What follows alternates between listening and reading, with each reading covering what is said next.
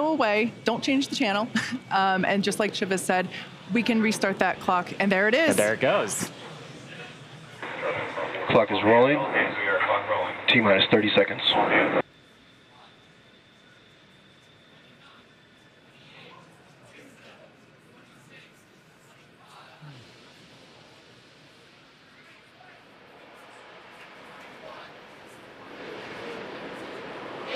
T minus 15. 10, 9, 8, 7, 6, 5, 4, 3, 2, 1.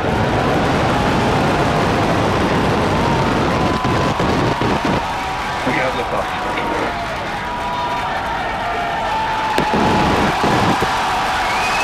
Vehicle pitching downrange.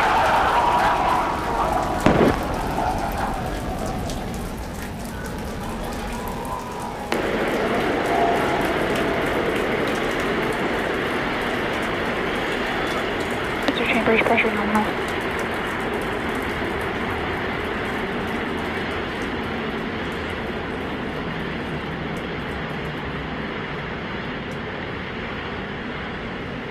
We are T plus 40 seconds into the flight of Starship. 33 Raptor engines powering the first stage. power and telemetry nominal. We've heard power and telemetry nominal call out. We're heading downrange over the Gulf of Mexico.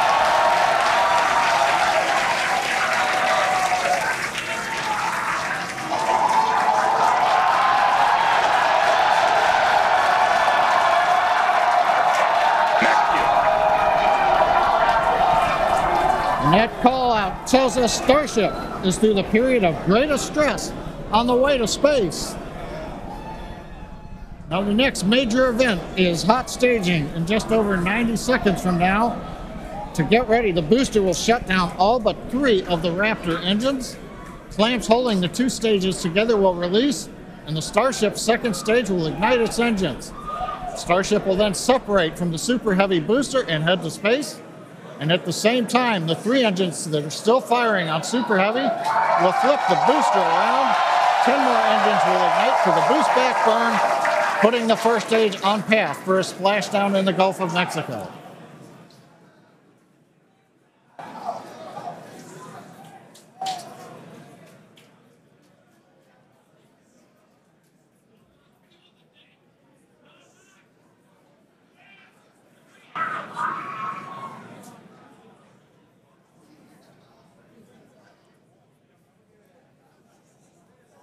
Engine power continues to look nominal on 33 Raptor engines.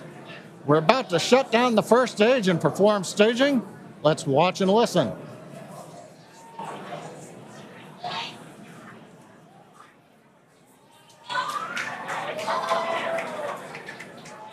And acquisition of Houston, signal Houston and New Orleans. Booster engine cut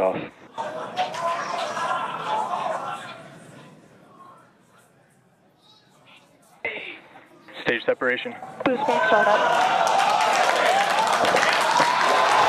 Ship engine ignition.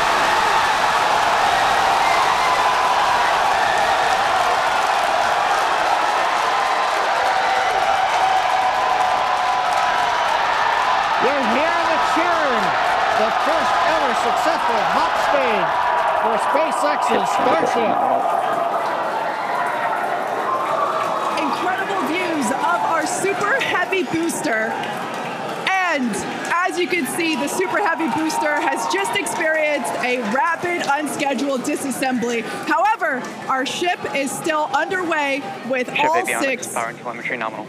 And we just heard there, ship avionics, power and telemetry nominal. All six engines are lit, as you can see from the GUI there at the bottom right-hand side of your screen. Now, we did know that the uh, that hot staging was going to be incredibly dynamic. We knew that there was a chance that the booster would not survive, but we're going to take that data and figure out how we can make the booster better for the next hot stage. Yeah, that hot staging put a lot of load on the top of the booster, and of course it flipped around there, a lot of dynamic stuff happening. But ship is still going strong. And it's doing great. Right now, the ship, the second stage, is uh, on its way. As like we said, you can see all six of its engines are ignited. The next major milestone for the ship uh, will be the shutdown of those engines, or SECO, second engine cutoff, which, if you follow our Falcon 9 launches, familiar terminology there. So far, today has been incredibly successful, even with the RUD of the Super Heavy booster. This is amazing. Primary objective of the booster today to get to hot staging, to get ship on its way to orbit. It did that admirably. Yeah, we definitely asked. Starship oh. trajectory nominal. All right, great news there. That trajectory trajectory for ship is nominal. signal, Cape Canaveral. Once again, Starship's second stage is firing those engines, and as you just heard, everything's looking good. Now, for the ship, we uh, wanted it to survive hot staging, which, as you can see there by that little dot on your screen, it did. Uh, we also want to uh, basically demonstrate that the successful startup of that uh, of those engines, demonstrating controlled ascent, which is what it's doing right now, um, and eventually orbital insertion.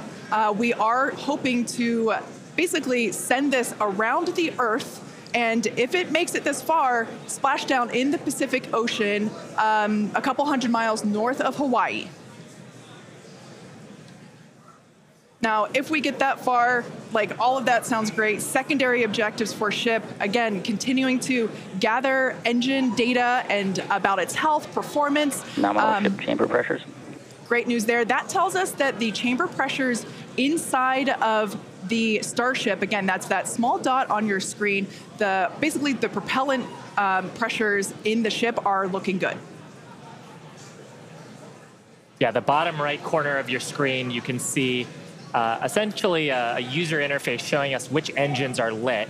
So the three center sea level Raptor engines on ship are gimbaling engines. The three outer engines in the triangle, the larger ones, are Raptor vacuum engines.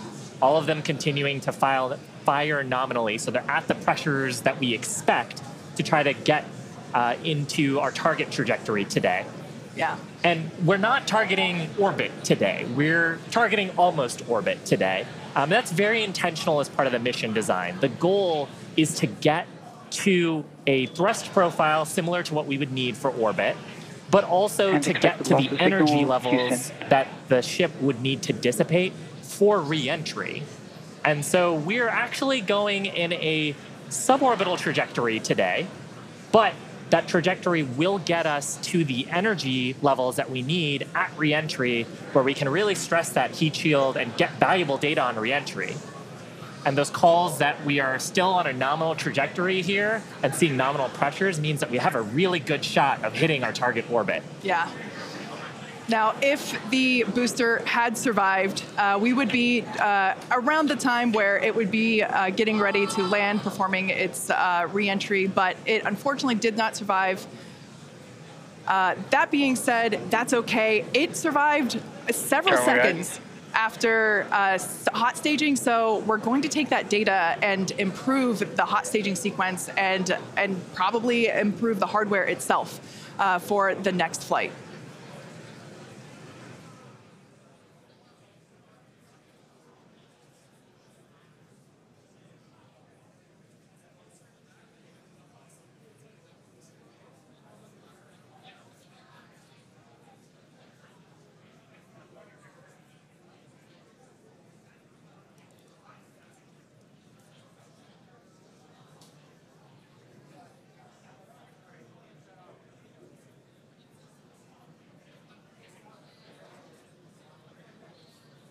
They're standing by for a call out here. Coming up on the projected time that ship would shut down its engines. As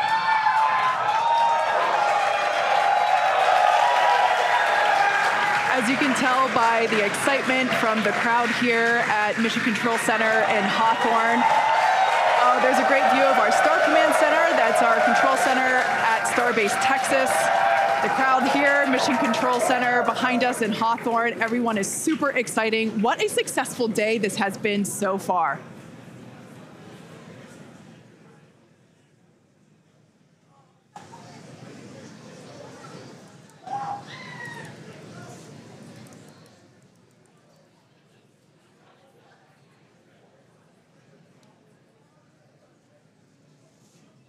And I mean, up to this point, major successful milestones through hot staging, which was the big objective today.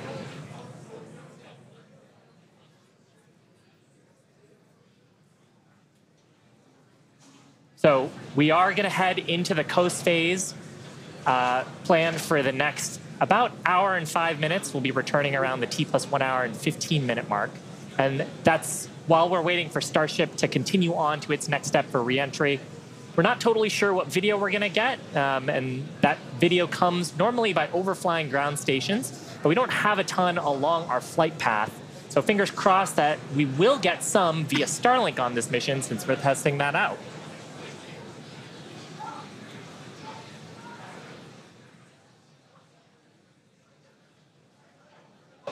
And also give us a moment. We are hearing some chatter on the net, so we're going to try to parse that for you.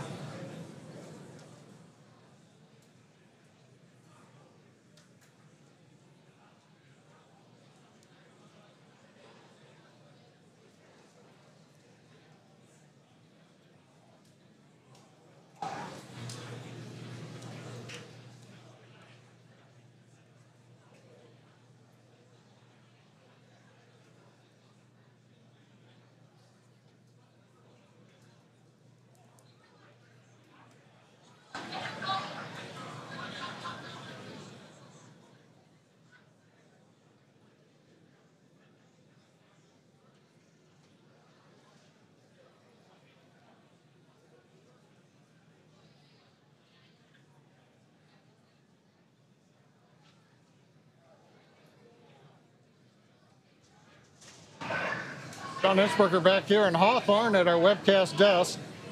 We have lost the data from the second stage. We had heard a call out that we were internal guidance, which means we were getting near the end of the approximately six minute burn of Starship. But we haven't uh, gotten any more data since then, so we think we may have lost the second stage. So we would not be into coast phase. We wouldn't be able to come back in an hour or so uh, and possibly get ready for reentry. However, what we do know right now is we had an on-time launch at 7 o'clock. Uh, we got through the boats. First stage looked beautiful with 33 Raptor engines firing. We got the hot staging, you know, the thing that we really wanted to see and impressed. We saw the separation, we saw the flip maneuver, we saw the light up of the six Raptor engines on Starship, and it headed away. Everything really looked good. But what we do believe right now is that the automated flight termination system on second stage appears to have triggered very late in the burn as we were headed downrange out over the Gulf of Mexico. But the real topping on the cake today, that successful liftoff, Kate, Siva, the hot staging is just, Yeah. just beautiful. Exactly what we were looking for. Yeah, ultimately, what honestly such an incredibly successful day. Even though we did have um, a RUD or a rapid unscheduled disassembly of both the Super Heavy booster and the ship, that's great. We got so much data, and that will all help us to improve for our next flight. Of course, and that's why we flight test, and you can bet that there's going to be more to come. So we really do want to thank you all for joining us. Of course, we want to thank the people of Cameron County. We want to thank all the federal agencies that have supported us for our, our test, and, and of course, a huge congratulations to the entire SpaceX team on getting through this flight test today. And I think with that, we're going to sign off from here in Hawthorne. Thanks so much for tuning in, and we'll see you next time.